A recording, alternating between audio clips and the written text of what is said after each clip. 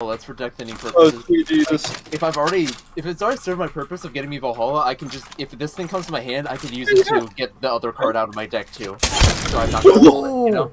That was Oh, fucking that was sick. Otherwise, I just run through Valhalla. Jesus Christ.